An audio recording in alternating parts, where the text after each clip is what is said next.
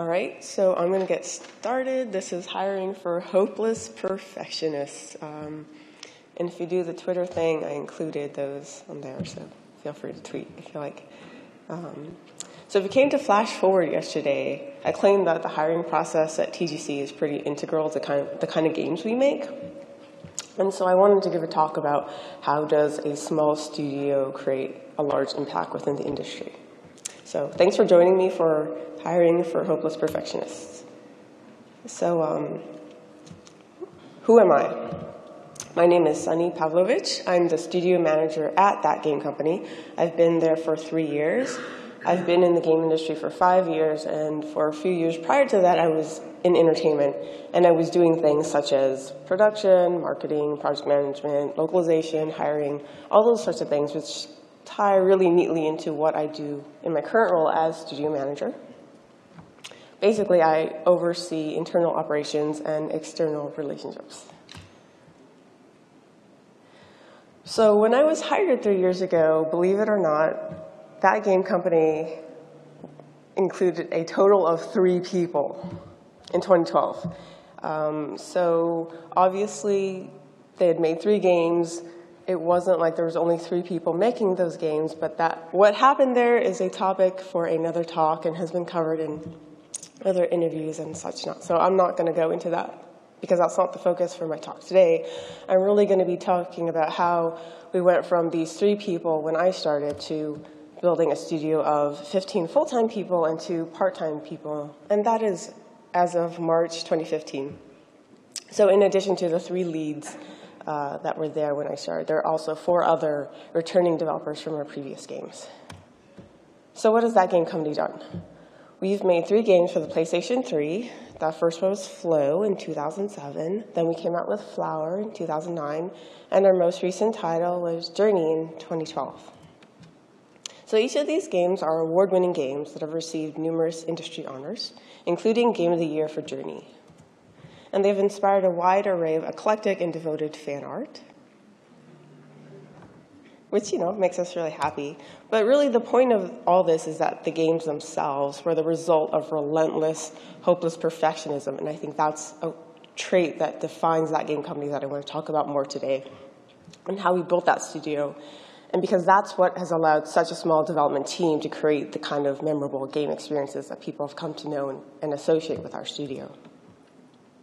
So talking about inspirations, what are, I have a couple of inspirations for this talk. And so the first one is, within the industry, that game company is kind of, might be considered an anomaly. And so people often come to us and ask, you know, what is the philosophy that allows your studio to make these games? Like, how did you guys do it? So this talk, Hiring for Hopeless Perfectionists, is my way of demystifying that game company's internal process and guiding values. I would say my inspiration number two is, hey, I'm talking about hiring. Uh, why would I talk about hiring at the Game Developers Conference? Because, in my view, hiring is such an integral process to the kind of games we make and the studio we're building. And for something that touches virtually every aspect of game development, it gets so little attention. So I'm here to throw a spotlight on this critical process and what has worked when we're hiring for our studio and why. And really my goal for this talk for you guys afterwards is I want to leave you with a newfound appreciation and understanding for the hiring process and all the work that really goes into it, into doing it well. So hopefully it will inspire reflection and leave you with some ideas to take back with you to your own studio and like discuss further about maybe things that you might want to start doing too. So there are many, many ways to hire and grow a studio, and that game company obviously is just one of them.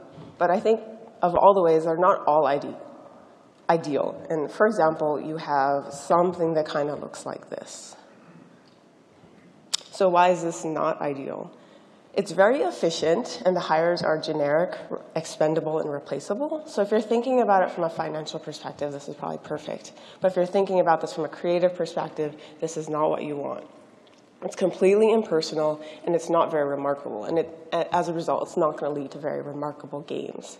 So I would say if you took this approach, predicted outcomes would probably be you're not hiring very carefully to build a, you know, a very specific team that works well together, that has a lot of cohesion, that's going to have a lot of retention.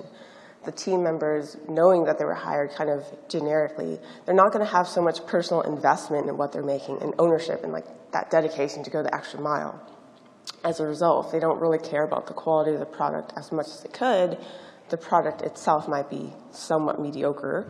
Um, obviously, this is going to create stress within the studio, which is not good for creative people, but also uh, the upper level management might induce a lot of crunching, which is not fun for the employees. And then for all the crunching that may go into a mediocre product, it could potentially lead to layoffs anyway, so not, not ideal. So I think there's a better way to hire. And this is what I've tried to do during my time at TGC, is uh, very carefully and slowly pick individual peoples for all the skills and experience that they bring and how they complement each other. So we have this one whole cohesive team of very interesting and wonderful people. Is that everyone? No? Okay, there we go. Okay, that's everyone. Oops, let me go back. Oh, geez. All right, so um, the point I'm trying to make with this slide is that building a studio is so much more than you're not just filling a place with warm bodies who can do work. And uh, I think if that's not your goal, then the hiring mentality you take has to reflect that. So we have to ask ourselves, what is our goal? And it's so much more than, hey, I'm hiring, here's an employment offer. So what I'm trying to say is hiring is important. And even more broadly, I would go as far to say is it's a foundational pillar that you should create in your overall strategy as a studio of, you know, really where do you want to take your studio? What kind of people do you want to be putting in your studio? To what kind of outcomes you want to have? And this may be obvious, but when I talk about hiring, I'm really talking about hiring well. And hiring well means you put a lot of thought, attention, and care into this process, just like you do when you're making games. Obviously, input is output, so hire well. And hiring never ends. It's an ongoing process. Again, it's not just giving out offers, but it's about once these people get into your studio, how do you empower them? How do you get them to be creative? How are they invested in doing their best work? How do you get them to retain and spread the word that, hey, this is a great place to work, you know, and so on, so that they're bringing their uh, like-minded individuals to come join you. So there's a saying, ABC, always be closing. I would say, always be hiring because hiring doesn't end. Because the ideal goal is to talk about how do we build something like this and how do we avoid building something like this. So as a quick intro, those are the underlying principles um, about hiring at TGC. So since this talk is hiring for hopeless perfectionists, let's get back to our hopeless perfectionists. So these are our hopeless perfectionists. They are the executive team at TGC now, and they are our lead developers. They were there since the beginning um, on Flow, Flower, and Journey. So I would say the hopeless perfectionism that pervades our studio really starts with these three. Uh, what is a hopeless perfectionist? Obviously, I have to define that. So I would say there's three qualities. First is you devote an immense amount of time and attention to quality and craft, and that's pretty much goal number one. You are a truth seeker. You rely on experience and experimentation. You don't rely on conventional methods and what other people do. You're in an ongoing struggle to reach ever new heights because you're never really satisfied with your, your last uh, achievement or accomplishment, but always seeking to do something better. That's a hopeless perfectionist. So when we talk about hopeless perfectionism uh, and how our studio is structured and how we set about our goals, it's really based on what are our strengths as a studio and what are our weaknesses and how do we always work um, on capitalizing on our strengths to compensate for the weaknesses. So um, as hopeless perfectionists who spend way too much time thinking and working on game development, the things that we're good at are making games that are artistic, that have lots of high polish, that can be attractive and accessible to a large group of people that makes up for our weaknesses, which typically fall under categories like business development. We're not thinking so much and we're not devoting specifically the resources to like, well, how do we recruit people? And uh, kind of our philosophy always falls back to the strengths. And really what we enjoy doing is like, well, if we make an awesome game, people will find out about it and they'll be like, hey, I want to do that too. So we don't really need to spend as much time on recruitment, which we don't want to do anyway.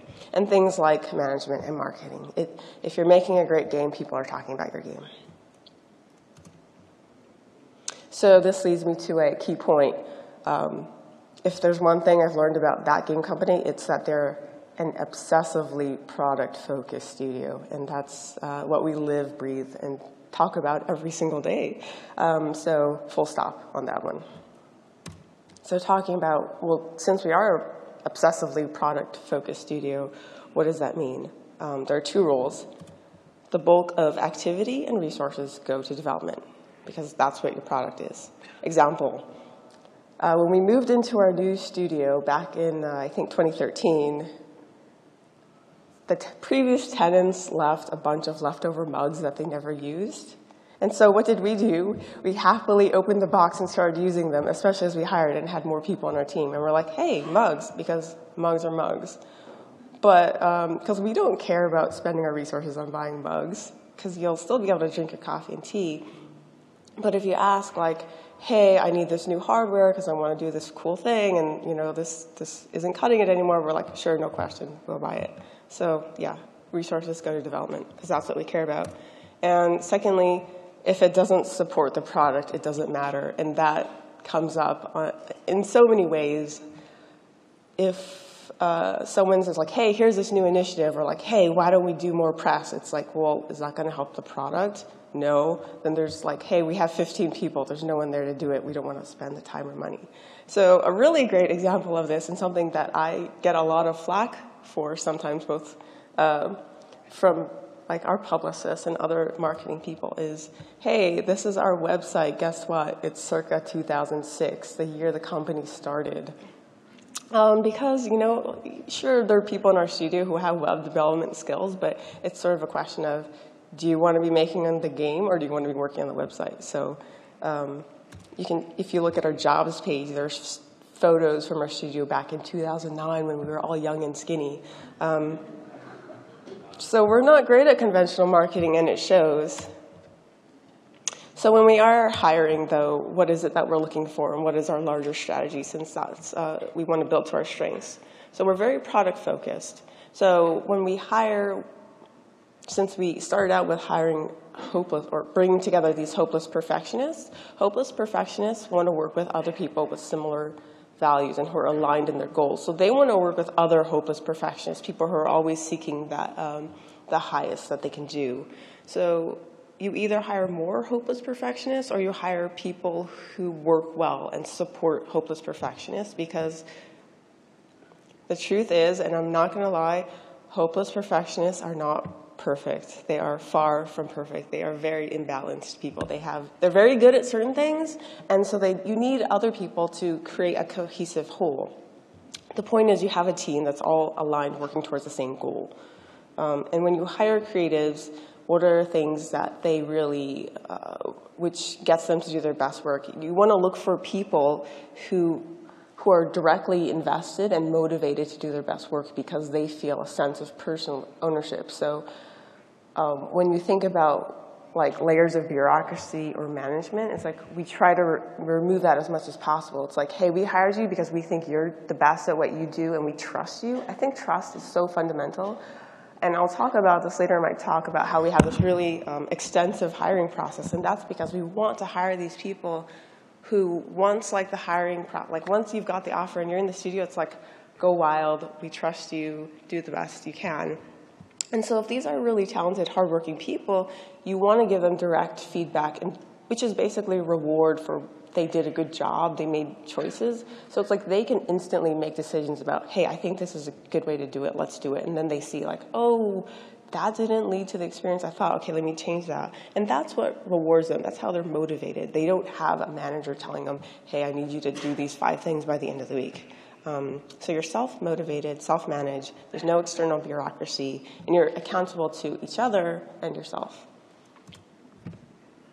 So now I'm going to talk about, so how did we actually start building the studio? How did we start recruiting and hiring and bringing these people together before there was even a product? Like where does, what's the origin story for TGC? So I would I'll just let you know, like to make a big impact, you need to have a small team, and you need these people who have are very talented and very invested in doing these things. So the studio co-founders really found each other even way back then based on product because they're very product focused. So as students, because this, the company was started straight out of when uh, everyone started the studio was in school. So they were making games as students. Um, they basically just kept running into each other at student game festivals because back then they just spent all their free time making games and doing the best they can and being recognized for it. So even though that their network at the time was small and like they had nothing like, hey, let's hire a recruiter and let's put out ads, I want to start a studio. It's just you, it's very easy to identify other people with similar drive and dedication, talent, and, and this entrepreneurial spirit, which is really what it takes to start a small studio. So, um, because it's like, hey, we keep making these student games and running into each other. So now it's time to found a studio. I guess I want to work with you because I know, I know you and I know you do good work and we can work well together. So what does that look like? Going all the way back to 2005, at GDC, at the IGF Student Showcase, we had these two games show up um, among about 10. Um, so back then, it was just like there's a student showcase, there was no like single winner. So we had this game, Diadem and Mutton Mayhem, which probably none of you have ever heard, even if you're like huge fans of that game company. So what does that look like? This is the Diadem team with our TGC audio director, Vincent Diamante uh, working on that student project. If you remember, not only did Vincent work on these projects, he also joined that game company to do the music composition for Flower, and yeah, a current audio director. And then here we have TGC creative director Jenova Chen uh, for the. Now, the second game, Mutton Mayhem, we have TGC lead engineer John Edwards. So, 2005 IGF Student Showcase. Next year rolls around, oh, there's another uh, student game competition. It's called Slamdance Guerrilla Game Maker Competition. Many of you may not have heard of this because it lasted about two years. But back then, that's where the students were going to show the games. Um, and so in 2006, there were, it was a new set of games. This was Cloud, which you may be familiar with if you're familiar with that game company, and Ocular Ink. And once again, what do we see? we have lead engineer John Edwards and Jenova Chen showing up at this with their respective games. Okay, later in 2006, we're back at GDC. Oops, we're back at GDC?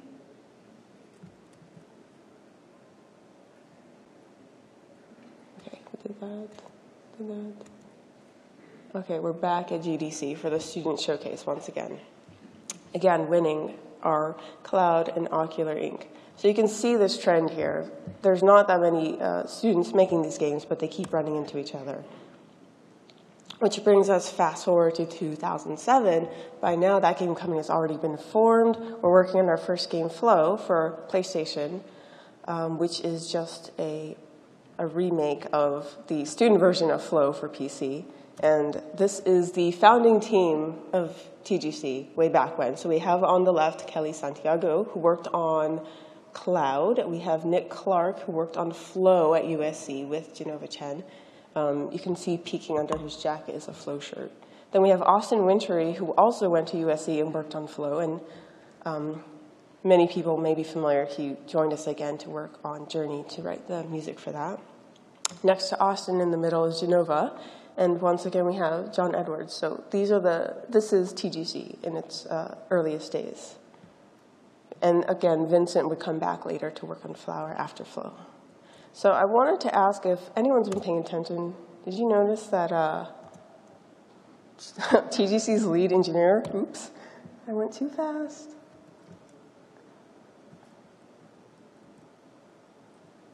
Where are my slides? Oh, I know. Sorry about this.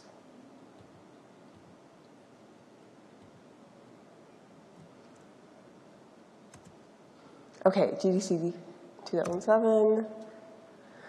Uh, yeah, did you notice that uh, GDC's lead engineer doesn't take any front-facing photos? I think he's just a shy guy. Okay, so bonus tip, since we're at GDC. You know what else happens at GDC? If you're driving along Interstate 5 in California, you might get inspired to make your next game and first original IP as a studio. So just a thought. Anyway, that was footage from Flower, if you couldn't tell. Um, okay, so now we have a studio, we have a product, we're product focused, we have something to talk about. So how do we build a studio with that in mind? So we're getting the word about hiring. And remember, that game company is an obsessively product-focused studio. We really want to just be making games. We don't want to be doing anything else. Um, but you know what? Even though we're straight up terrible at conventional marketing and recruiting, we know that brand building does help the product, and so does hiring well. So when we do have to do kind of like external public-facing things, it's still about the product. So what do we do? We give talks. This is Jenova Chen at the 2014 Games for Change keynote. Um, and when we give talks, it's mostly about our products and our process, because that's what we are, um, that's what we know, that's what we feel is worth sharing. Because honestly, hiring is a numbers game, and you never know what, which one exactly is going to hit with or resonate with the person you want to hire. But the more brand reputation we build based on external outreach around our product, the higher the chances that we're going to find some good hires because of it. So this is reputation building. Um, this is how TGC does marketing. Plus, it's good karma to share knowledge with our peers at conferences like GDC, as you see, Jenova Chen and Nick Clark. Because at heart, we just want to make great products. Giving talks is a byproduct and conduit to making great games, so we make time for it, even when we would rather be designing or rather be coding.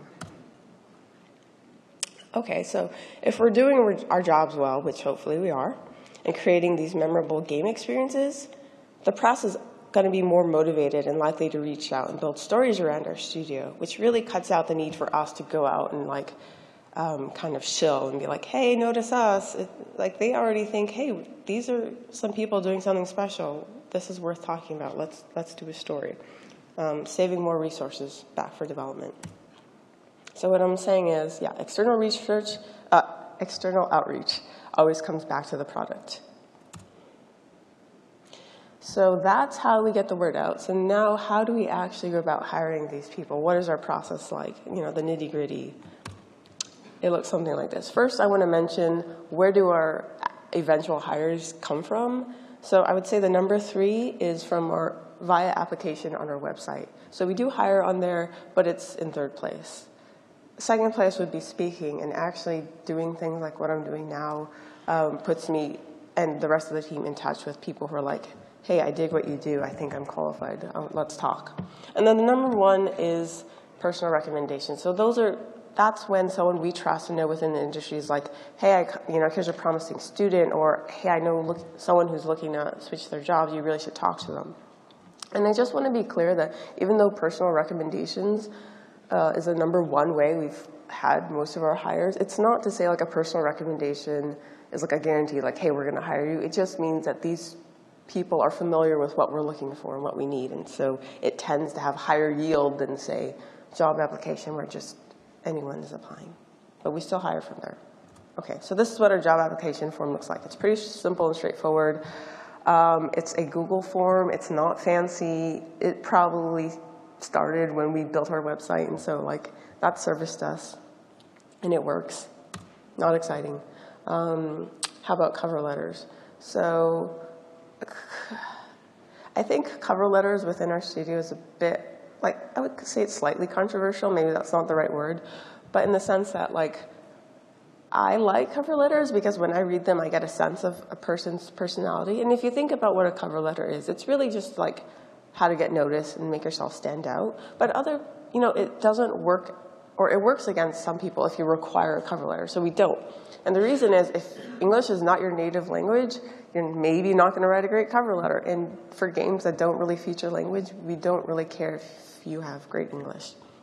And secondly, if you're a creative person and you aren't the best at writing, but you're great at art, you're great at programming, you, why would you be motivated to spend time to write a cover letter when you could just like create something awesome? Which is why I actually selected this image.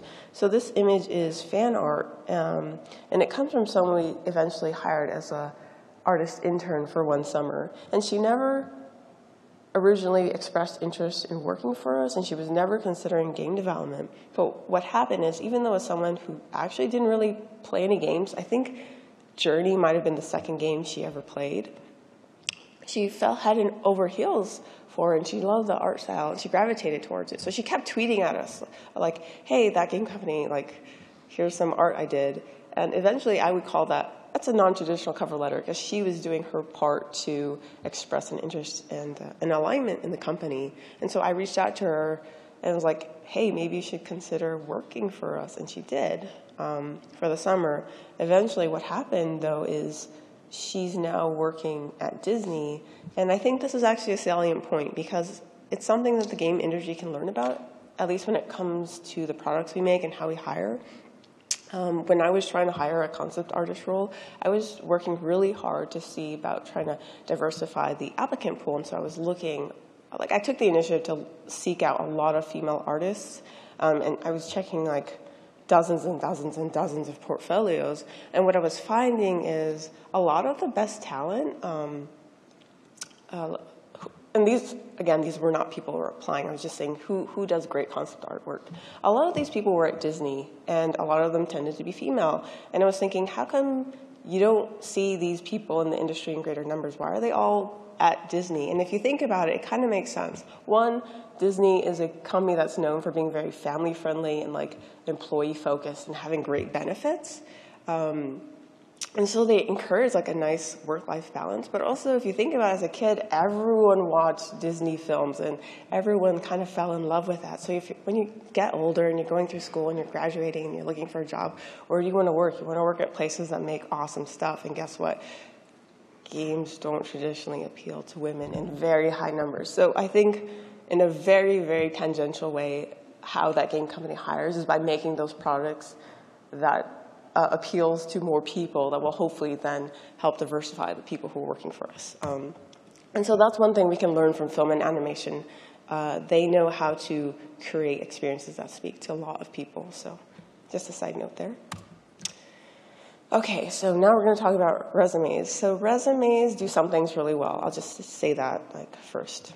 You know, at a quick glance, you can match up a candidate's focus, priorities, baseline skills, past work environments, for example, have they been working in small studio environments or are they coming from mega studios? And you know, that really does matter when you think about who can be the most effective in a small studio. But I think resumes have also a lot of downsides. Um, they don't indicate talent. You can't tell what their values are. You don't know what their taste is. So resumes have very limiting information. So this is an example of a resume I got, and obviously I anonymized it. Um, but I wanted to show you why this resume was particularly terrible and I don't like resumes.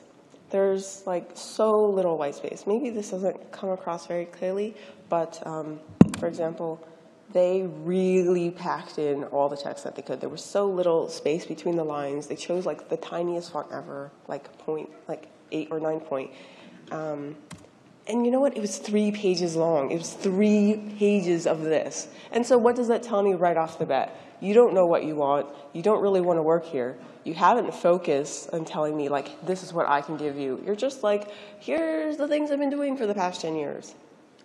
Um, and unfortunately, the font was so small, I literally couldn't read it. And I was just like, sorry, I, this person was not under consideration anymore.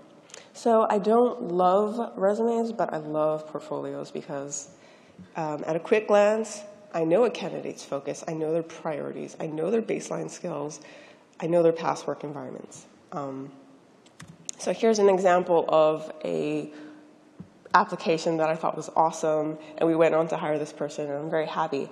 Oh, I should note, we went on to hire this person, and because they had such an awesome application and portfolio, this is an example of someone who did apply via our website, they didn't know anyone at the studio. They didn't know anyone that we knew. They just applied. They were like, here's what I can do. And um, I wanted to anonymize it, so I did some Photoshop work just to respect privacy.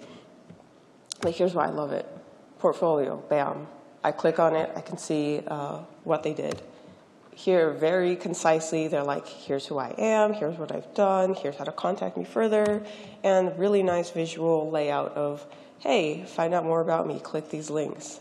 And so I'm actually going to show you a, a small snippet of what um, what they what their demo reel looked like. And I want to mention that this is someone who came straight out of school, um, and I I appreciated that they were able to. I could see that they had worked on 3D game environments and they'd worked in small teams and they had a very interesting approach to game design and aesthetic, and that instantly caught my eye. I was like, there's not that many students coming out of a school these days with this kind of background. So I can see, yeah, like they're making these very interesting choices and creating this world and atmosphere. And, it shows like they know they, they have a wide range and they they just have a baseline talent that was exciting. So yes, successful hire currently in our studio. Um, so you've submitted a resume or an application or your portfolio, and I'm like, hey, this is cool, let's talk more. So interview screens are pretty standard within the industry. So I like to think that you know, there's several key functions that take place whenever you do an interview screen. Um, number one is inform. So let's say I'm talking on the phone with the candidate, and I was like, okay, well, here's the role we're hiring for. Um, for example, let's say we're hiring a feel engineer. So as a feel engineer, and uh, you know, also what's the structure of the studio, where are the values of the team. It's like, okay, we're a small team, everyone knows each other, it's very transparent. You have access to anyone you want. Like if you if you want to go talk to an artist, you want to go talk to a composer, they're sitting right next to you. Jam out ideas. Like totally, you can do what you want.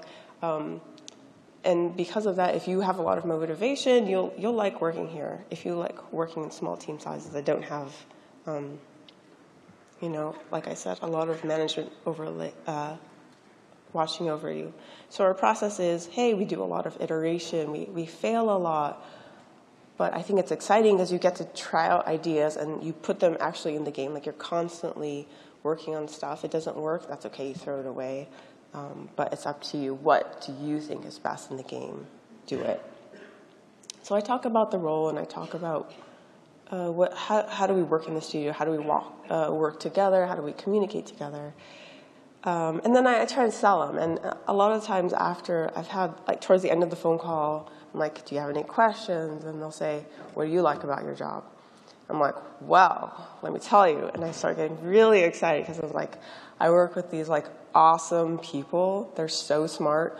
In all my previous jobs, like I would be the one who was uh, putting in the extra hours and like pushing of like, hey, we can do this better. And, you know, oh, like that's not good enough. Let's spend more time. And this is the first time I've been in a company where it's like, oh, I'm pushing hard to keep up with everyone else, as opposed to like, oh, I'm trying to pull everyone along with me. So I get really excited about that, and I'm like, I'm working with these people who are super passionate. and They have all this integrity um, to create this really pure, for the player experience. And they're so smart, and I'm sitting in these design meetings, and it's like it's totally, it's not structured. It's not like we came in with a goal. We're just like okay, we're going to have a design meeting. Let's sit down. We're not, we, we don't have a design document. It's just like, hey, I'm just going to throw out some ideas. And they start like sketching on a whiteboard. And it's like, oh my gosh, it's so amazing. Oh my gosh, that totally would work. Oh, I'm so excited for this game, even though it's just like sketches on a whiteboard. Like, oh, I can see it. And so I get to be in this environment every day. And it's, it's, it's great. Um, and I get to do what I want. Like I, yeah, I get to decide, you know what, today I want to focus on this. And that's what I think is best for the studio. And that's what I'm going to do. So, you know, there's, there's a certain amount of selling that has to happen of like, the studio's awesome. Um, but it's also about finding the right fit. And this kind of environment is not for everyone. And, you know, there are times where I have to turn people away, even though they're like, oh, I really want to work at that game company. I really respect what you do. And, you know, they have, honestly, like a solid background and like they're skilled, but I have to turn them away because I don't think that they would fit. I don't think they would actually enjoy working here because working in this kind of environment where you're just doing these prototypes is actually really stressful. And as much as it's great to have all this freedom of, hey, I want to work on this thing, I think this is what the game needs. If you have that for like two plus years where no one is telling you this is what the game is, it's like, no, you go make the game. You go tell me what the game is um, a lot of people can't handle that environment. They need the kind of feedback, they need the structure. And they need someone saying, yeah, I need you to do these five things by the end of the week.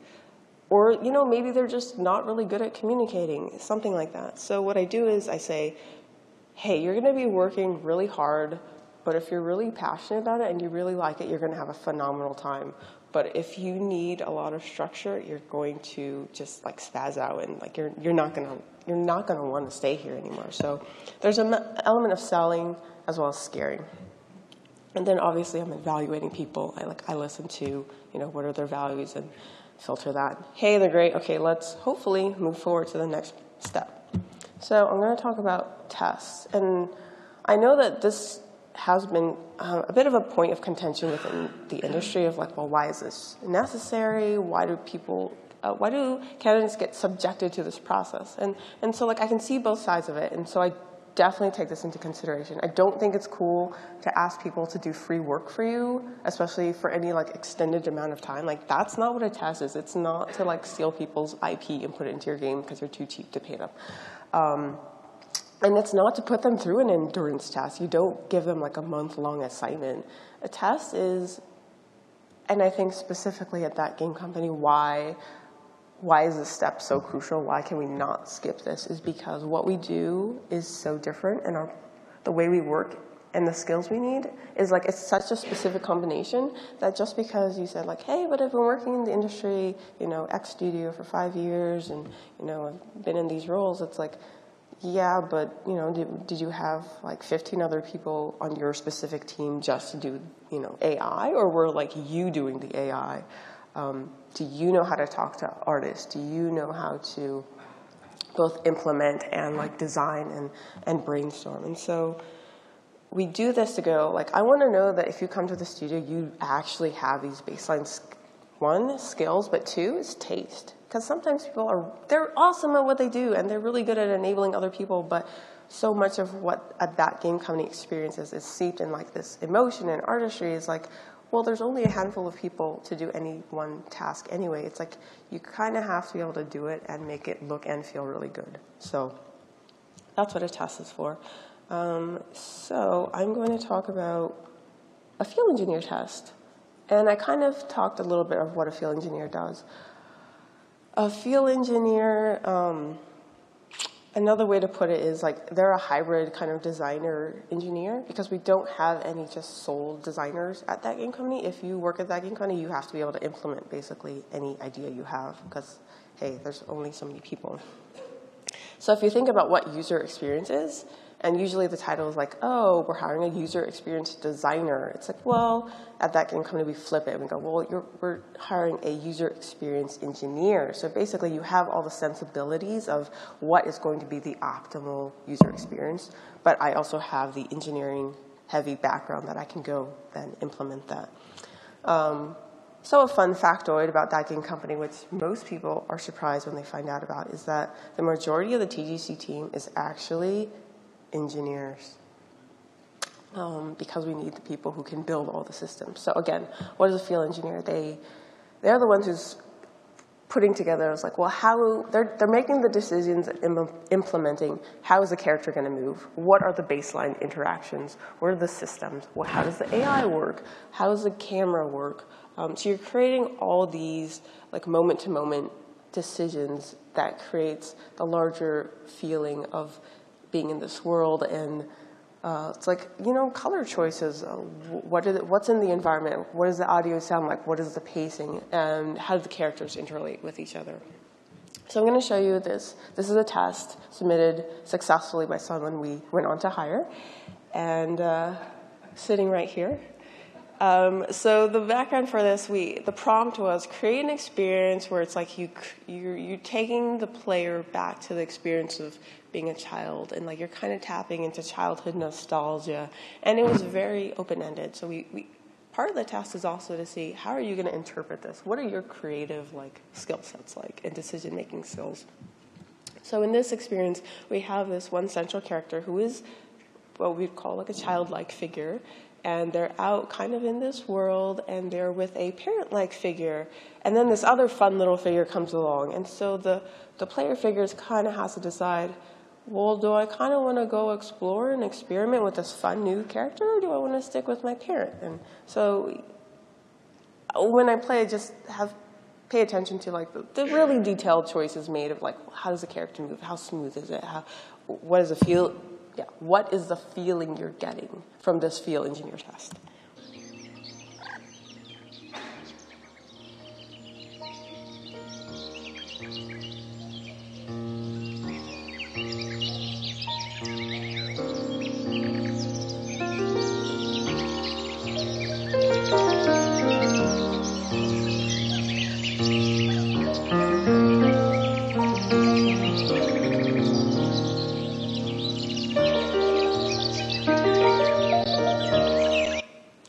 So that's actually just a recording of me playing through um, really quickly this uh, the, the initial part of the experience. So, yeah, we hired. We thought this was a great test. Um, they made really good choices. Did they successfully convey the feeling of being a child, and it felt good. So, hire.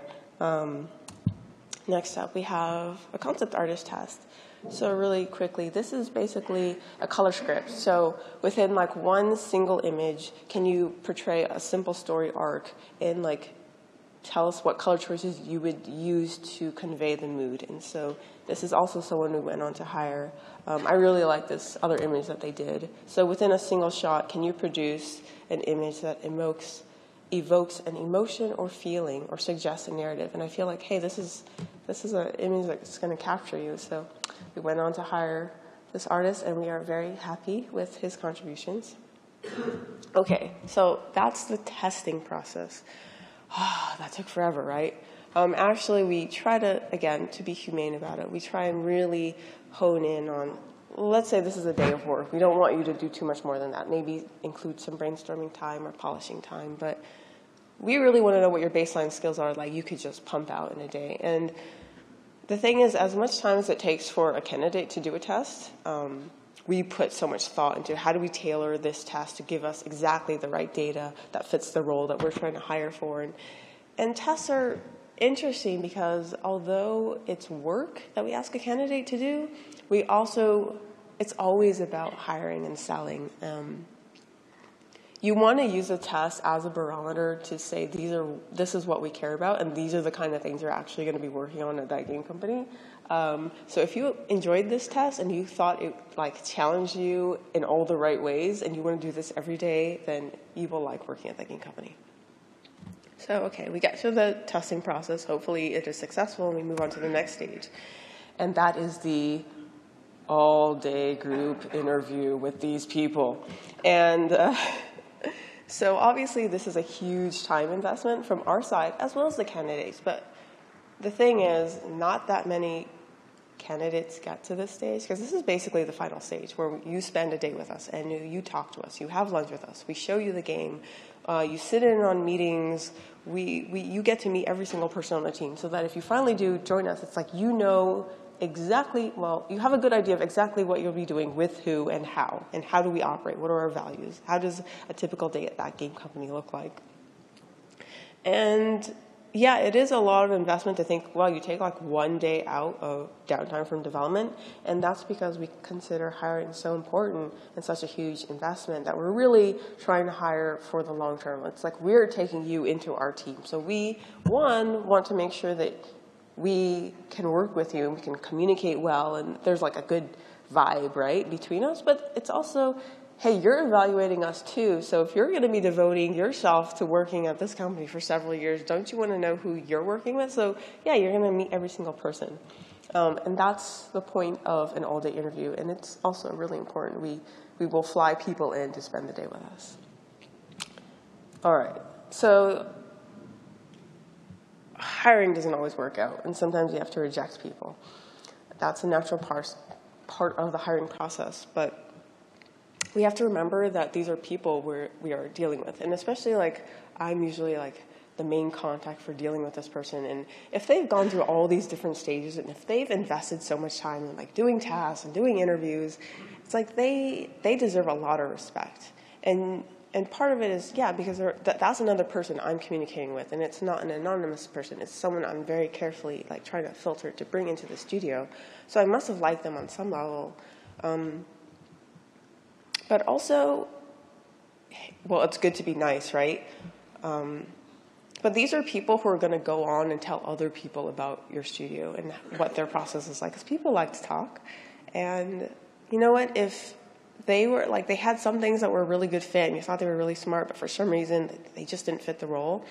And if you've if you know if i've done my job well and i've left a really strong impression on them maybe you know they know people in the industry they might actually recommend people back to apply at that studio. And so if you have this like long term big picture thinking doing always putting care and thought and attention to this process even when you have to reject someone can really work you know in the studio's favor. And so it's important to be respectful.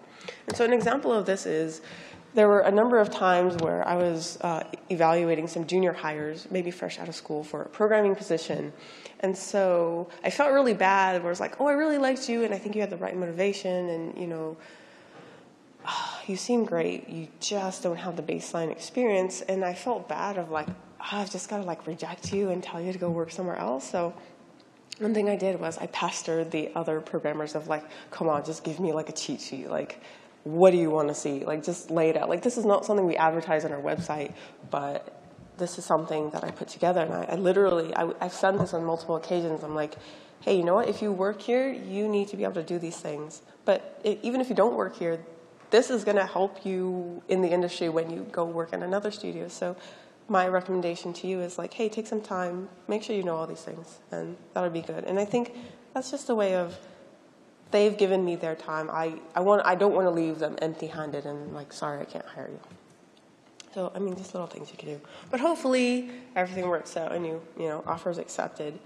so as I said, the hiring never ends because you want to make sure people know that hey, I really care about you and I want you on our team and I want everything to work out. So you know, people it's, it's, a, it's this whole messy process. And um, even if you've done this complete hiring process, once they get into the studio, you have to devote, devote a lot of attention and onboarding them and making sure they do really know how things are done. They knew they know who to talk to to ask questions. They feel like someone is invested in their success. And so you, a lot of times new hires, like we work really close with them, definitely the first few days, you know, sometimes the first few weeks, sometimes months, just to make sure it's like they're getting on that right path. So it's like, because as I said, what we do is really stressful. So if they're coming in, they feel like, geez, I'm, I'm making all these prototypes and they keep, nothing's sticking, nothing's getting in the game. And they make sure that they feel like failure is a success because it meant you're trying something and you've defined that that thing doesn't work.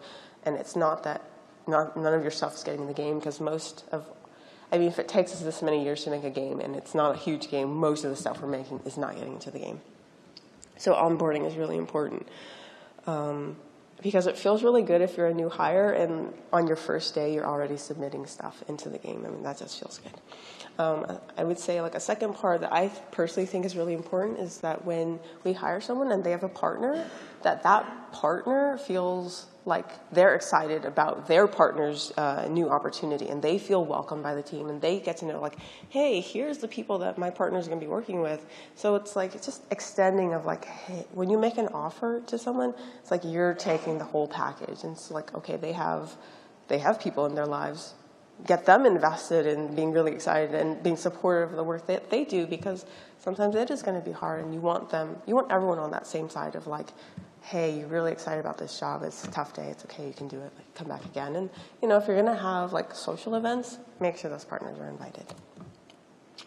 So um, we're getting kind of close to the end. Um, so just wrapping up like if i've done my job well the hiring process builds retention and prevents talent poaching, which I think is really important also, because if I've invested all this time to get awesome people into my studio, I want to make sure that they're happy. And if they're happy and someone else comes along and wants to throw all this money at them, they're going to be like, you know what, what I got is really good. So it's a, it's a, it's a whole process and it, it matters. And the idea is I'm creating dedicated teams that work well together. So really wrapping up, um, what's it like working with a studio of hopeless perfectionists, and why do we do it in a few slides. Working with hopeless perfectionists is super frustrating. Why? Because when you've been working on a thing for a really long time and you know you haven't talked about the game and it hasn't been published and we extended the deadline again, it's a lot easier to just kind of be tempted to say, you know, it's good enough. Let's like let's ship it. Let's keep going and then just enjoy kicking back with your colleagues rather than like really pushing and fighting for these unproven ideas and impossible ideals. But that would be a lot less meaningful, and that's not why we do it, because we're hopeless perfectionists. So it's going to be frustrating sometimes, but that's part of the process. I think working at the studio and being a hopeless perfectionist is also very motivating because you're getting these constant new challenges and you're creating these new discoveries that keep us ever pushing towards something greater and that really actually leaves you hungry to go find the next goal and your next set of accomplishments and see how far you can go. working at that game company is inspiring because we make experiences where players feel something they've never felt before. It, sometimes it's because it's the first game they've played and they've actually decided, hey, that looks interesting. Or maybe they've had a lifetime of playing games and they're like, I've never felt that in a game before. And when you see this happening over and over again with all new players, you realize I'm making something that makes a difference to people in this industry. Hiring for hopeless perfectionists, the studio, the work is challenging because we're, re we're redefining new boundaries of a worthwhile interactive experience. And that can be really overwhelming when you don't have these baseline models to work off of. But on the other hand, it also means we get to redefine new boundaries of interactive experience. So, you know, double-edged sword. Working at that game company, it can be funny and empowering when we're comfortable expressing ourselves as individuals together. And yes, that's an actual picture from our studio. Working that game company is worth it because it's really hard, but in the end, we get to make wonderful game experiences that we're proud of, that are different, and that we wish to see more of. And in the end, it's because we're building cohesive teams to break through hard times and make something great. This is that game company. Are you still going to look wistful? let's, all, let's, all look at the, let's all look at the camera and then look wistfully into the distance. It's hiring for hopeless perfectionists. Thanks. Q&A. Um,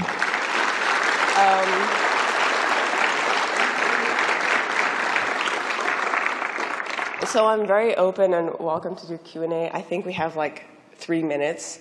So um, if anyone is interested and we don't have time to like fit you in, I will be in the room across the hall. It's room 2002. You're welcome to join me there. And sprinkled throughout this uh, room are my colleagues, so you can go harass them as well and ask them lots of questions. Yeah, they're here and here and here, so um, yes. Um, I'm just curious, have you had any experiences where you've made a mistake in hiring or where something just hasn't quite worked out and how you've uh, dealt with it or would recommend dealing with that? Yes. Um, actually, so in the three years that I've, oh, sorry, I need to repeat the question. You asked me a really uh, lengthy question. I don't know if other people will have time, so please stick around. Um, the question is, have I ever had an experience where I hired someone and it didn't work out, and what ha- or what would I recommend? Um, that's really tricky. So it's happened three times in the three years that I've been there, which is like an okay rate. It's not great. Um, what I found out uh, um, sometimes when that happens, when we hired someone and it didn't work out, it was because we actually subverted the process that I talked about here. So there's a reason why we have a process and we go through these steps. It's because we're really trying to do a thorough an assessment before, you know, making that huge commitment, which really is, it feels really bad when you put in all this effort to bring someone to the team and then, oh, it didn't work out. Like that emotionally feels bad. So I would say follow the process. Don't skip. Don't think like, oh, I know better. Oh, they're work out. They're fine. Oh, they're, they've had enough experience. We don't have to do that step. Or they come highly recommended. It's like, you still have to do the step. And I think the other thing I would advise is if you know someone is not working out, you want to identify that sooner rather than later. And really, you want to leave, have the person leave on amicable terms. So when it doesn't work out, it's not always like, oh, we're rejecting that person. Sometimes that person's like, no, I'm not really getting what I'm looking for from the studio. So you, what I advise is if someone feels like they're ready to leave, or if we feel like maybe it's better for everyone if this person leaves, is you make it safe for them to leave. So you don't, you're not there to like villainize them. You want to go like, hey, if you feel like you can do your best work somewhere else, we're going to support you. Like, do you need, you know, references? Do you need recommendations? Do you need us to talk to people? We'll help you because we, we still like you. We want you to do well. And you don't want to have, like, bad feelings. So, or also, sometimes it's like making sure that you give them some kind of compensation of like, okay, if you're going to be out of work for a while, you're like, here's some severance. It just, it makes it safe. So it's like, they're not going to feel like, oh, I'm alone on this boat. Um, uh, hi. Um, I was wondering roughly what your um, success rate is based on number of applicants who apply for a position and then the number that you would actually give an offer to roughly. Okay, so um, to break it down into numbers, so like I said, when I started, there was three people, so I would be fourth. Um, we're at 15 people right now, so I'm only going to be speaking to the duration of time when I was there in these three years. So what that's like seven people, and then we grew to 15. Obviously, some people left, so there was a few more hires. Um, so we made eight hires uh, that weren't previous developers on previous games or uh, the people who were there or myself. Um, so eight hires.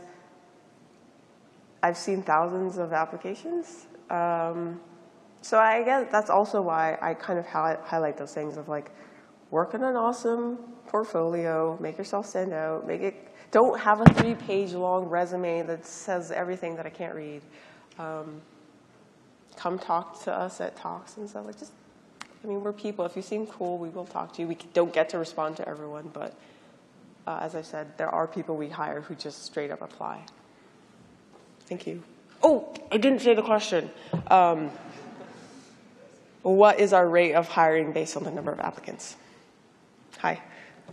Uh, this is very inspiring. Thank you. Um, Susan Mocklin, Punch Music. Um, can you speak about contracting versus hiring um, and how you might adapt these tips to finding a contractor with the eventual goal of, of, you know, ideally hiring for a permanent team? Okay, so the question is, how do we deal with hires, um, full-time hires versus contractors, and kind of how do we deal with that and what the difference is?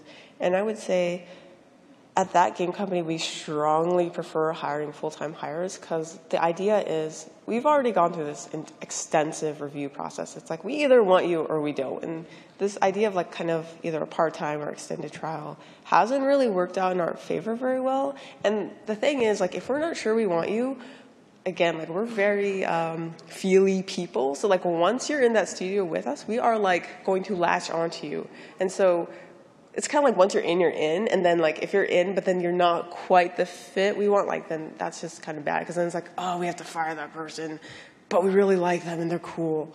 Um, so we really try and just uh, focus on full time. So they, they can get, they're a full time hire, they get our full attention and all that comes with being part of that. Um, we do have some contractors, but those are for non development roles and things that can be a little bit more tangential, such as our, our current community manager is part time. Although I am hiring a lead community manager to be full time in our studio because I think community management is really important. I'm just going to say that out right now.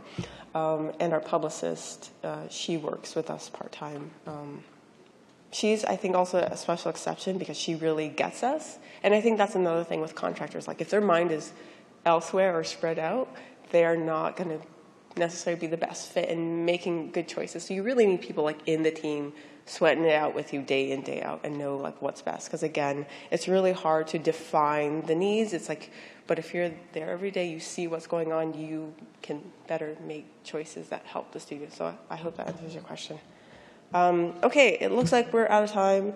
I'll be in 2002 across the hall if you want to um, follow up with any of us here. There's a bunch of us. Please fill out your session evaluations and thank you. Enjoy the rest of GDC.